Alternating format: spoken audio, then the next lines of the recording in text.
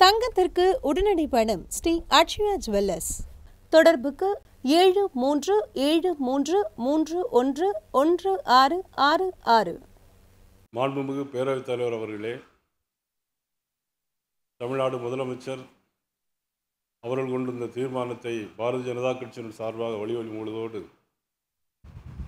மாண்புமிகு அண்ணன் துறைமுருகனை பற்றி சொல்ல வேண்டும் என்று சொன்னால் எல்லோரும் அவருடைய நல்ல எண்ணங்களை முதல்வர் முன்மொழிந்ததை வழிமொழிந்து பேசி கொண்டிருக்கின்ற வேளையில் அதிமுகவில் நான் அமைச்சராக இருந்த காலத்தில் குமரி மாவட்டத்தைச் சேர்ந்த ஒரு காவல்துறை அதிகாரி திருவண்ணாமட்டியில் கலந்து கொண்டோம்.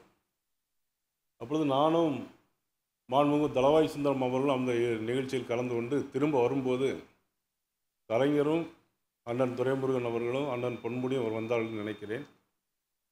அம்மா உயிரோடு இருந்த காலம் அப்போது கலைஞர் எதிரே வரும்போது நாங்கள் ஒதுங்கி வந்தோம். அப்போ கூட என்ன சொன்னார்னா ஏ ரெண்டு பேரும் ஒழிச்சு ஓடுறோம் பாரு அப்படின்னாங்க மறந்துருக்கும் அநேகமாக ஒரு பதினஞ்சு பதினாறு வருஷம் ஆச்சு. ரெண்டு பேரும் ஒழிச்சு ஓடுறாங்க பாருங்க அப்படின்னாங்க. அதை நாங்கள் அங்கேருந்து அப்படி கும்பிட்டுட்டு வந்தாலும் அப்படி நை அப்படி வந்துட்டோம். அவ்வளவு எதிர்கட்சியாக இருந்தோட உரிமையோடு பழகக்கூடிய ஒரு நல்ல பாங்கு அவருக்கு உண்டு. கிருஷ்ணகிரி தருமபுரி வேலூர் சிவகங்கை புதுக்கோட்டை ஆகிய மாவட்டத்தில் இன்சார்ஜாக இருந்தேன். எதிர்கட்சியாக இருக்கும்போது ரெண்டாயிரத்தி அஞ்சுலேருந்து பத்து வரைக்கும் உள்ள காலகட்டத்தில். அப்போ வேலூரில் அவருடைய கிராமத்துக்கே நான் போய் பொதுக்கூட்டங்கள்லாம் பேசியிருக்கிறேன். அப்பவும் வந்து பார்த்து பேசும்போது ஏன்னா ஊருக்கு போயிட்டு வந்தீங்களா? அப்படின்னு பார்த்து கேட்கக்கூடிய ஒரு நல்ல பண்பு படைத்த அண்ணன் துரைமுருகன் அவர்கள்.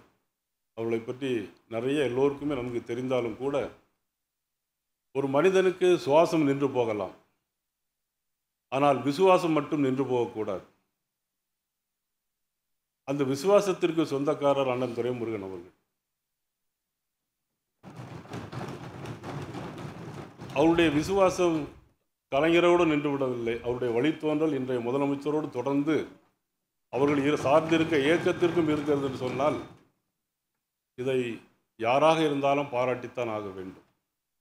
மாண்பு பேரவைத் தலைவர் அவர்களே அண்ணன் துறைமுறை எங்கே பார்க்க சொல்லுங்கள் நீர் வளமாக இருக்க வேண்டும். ஆரோக்கியம் என்று வளமோடு வாழ வேண்டும் என்று இறைவனை வேண்டி நன்றி கூறி அமைகிறேன். நன்றி வணக்கம்.